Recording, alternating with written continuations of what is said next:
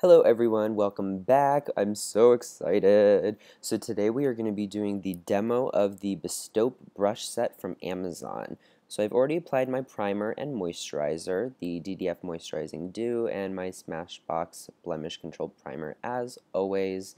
And now just applying my Chanel Vitalumiere Aqua and mixing that with the L'Oreal Lumi True Match, I think it's called.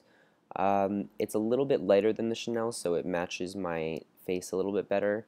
I'm not super tan. The Chanel is more of a summer foundation for me. However, do not use a luminizing foundation on your nose or in your T-zone. You want to use a more mattifying foundation so it doesn't extenuate the oil that you build up during the day. Even if you have dry skin, everyone gets a little bit shiny in the T-zone, so use a little bit of a more mattifying foundation. And I'm using the Maybelline Fit Me in the color 210 it is the same color as the L'Oreal foundation, but it does not refract light. Hello. so now I'm taking the flat top kabuki and just buffing that into the skin. And as you can see, guys, it does a really good job of spreading the product evenly. Because of the synthetic hairs, it doesn't soak up product, so you can spread it more, uh, like in a farther across a larger area is what I meant to say. Um, a lot of natural hair brushes will just soak up your foundation, whereas this spreads it very nicely and it's giving very thin, even coverage. It's not looking too cakey. I really, really liked the performance of this brush. And if you guys saw my surprise haul, my first impression of this brush, I literally couldn't speak when I felt how soft it was. This feels amazing on the skin. It is fabulous. I did feel the Sigma F80 when I was at IMATS, the tester one, just to feel it. And honestly, guys, I think I prefer this one a little bit more. The F80 is more dense, so you do get a little bit more color payoff and you can build things up a little bit quicker. However, if you have sensitive skin or oily skin, sometimes you want a little bit of a softer and more flexible bristle, which this, which this brush really has. Now I'm taking the Maybelline Fit Me concealer and the little mini flat top kabuki brush and I'm putting that in a little triangle shape under the eye and just blending that in. Now this concealer dries a little bit quick so with this brush I think it would have been better to use like a concealer like MAC Pro Long Wear or the NARS Radiant Creamy Concealer. Uh, this one just dries a little bit quickly so it's hard to work with if you're not using your fingers to warm up the product so I don't really like using it with a brush. However, this brush did a very good job at blending it out considering the quick drying consistency of this concealer. It's giving a very feathery texture, it's very light and airy, and it does a really nice job of not leaving streaks. A lot of brushes leave streaks on the face with foundation. This one did not, nor with the concealer. Now with the round top kabuki, I'm just going to set the areas where I apply concealer with the banana yellow color from Makeup Forever, the one that does not have a color name on the back of it. And I like using a banana color instead of a white because it doesn't look so stark and you don't look as like sick. The banana color gives a yellow glow to those of us who have a warmer and more bronze skin tone. Now I am taking the MAC Mineralized Skin Finish in the color medium dark on the angled flat top kabuki and I'm just stippling that and pressing it into the face where I did not apply concealer just to set the foundation in. If you have acne prone skin you want to press your powder in as opposed to sweeping it across your face.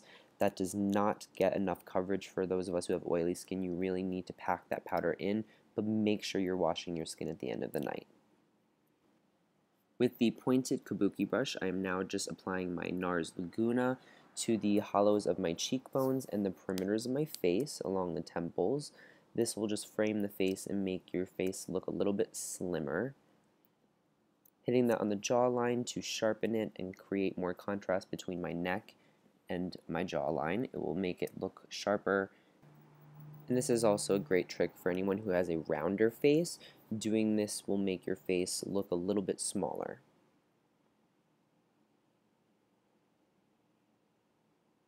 Just doing the same thing on the other side, buffing that into the perimeters of the face to help frame it.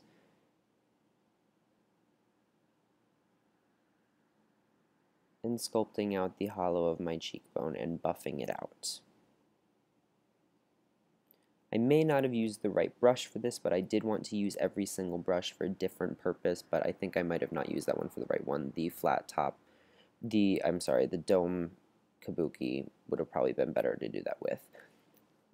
So now I'm taking the angled crease brush. Yeah, the angled crease brush and contouring the nose. I am using Over the Taupe by NYX. It's just a medium gray color with brown undertones. I'm taking that down the sides of the nose in very, very light-handed motions. I don't want a heavy application with this. It's a very dark color, but it is the perfect color to mimic shadow. It has no redness to it, and it looks very natural. So over the taupe, really, really great color to contour with. For those of you with fair skin tones, you might want to use something a little bit lighter. And now with the Dome blending brush, I'm taking the banana color from Makeup Forever and a medium taupe color, it's a lighter taupe color than over the taupe, from uh, Inglot and blending that into the crease just to add a little bit more definition and then sweeping NARS Laguna over the lids to make it look a little bit more deep set and get rid of that concealer look that the foundation caused.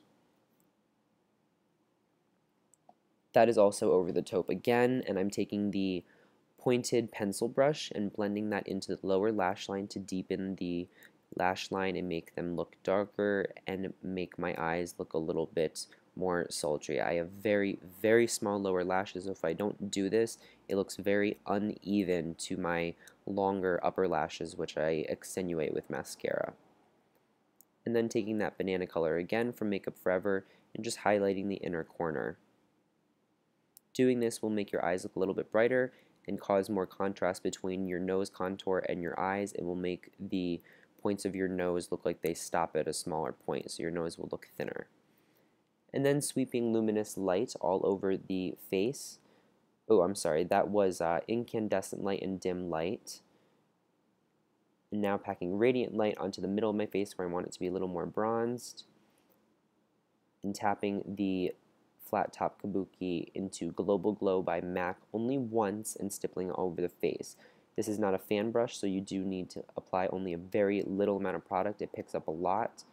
And stipple. Do not just start sweeping it on your face. If you have a fan brush, you can do it however you want, but because I only wanted to use these brushes for this look, do not just pack it onto your face. And now with Luminous Light, I'm taking the angled crease brush again and sweeping that onto the brow bone to add a little light to it to lift it. Luminous Light is very beautiful.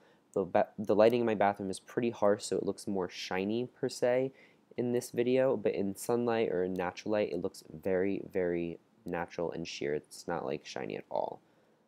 I'm just doing my brows. You guys have seen me do that before, so I'm going to skip right through to that to go to mascara just curling the eyelashes. Look how big they're getting. I'm so excited. My DIY lash growth serum will be up very soon. And taking my tinted clear mascara that I just dipped into a Marc Jacobs gel mascara, I am combing that through the lashes. And I just did a close-up of this for you guys to see there is no clumping when you use a clear mascara, absolutely none. You can do as many coats as you want. It does take a little bit of patience because the formula dries so slowly, but this is good because you can build thinner coats and if you let it dry for just a tiny little bit and then go back in, you're not going to get any clumps. You're still going to be able to coat the lashes evenly and separate them perfectly without compromising lift or the natural look that you're aiming for.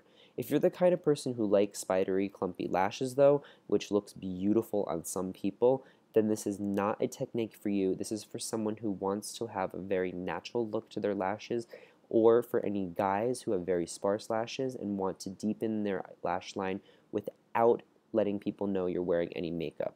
No one would ever look at your eyelashes when they have this on and think you have makeup on. Now I am lining my lashes with the Marc Jacobs marker. And that completes the look, guys. I hope you enjoyed. These brushes are absolutely amazing. Go pick them up.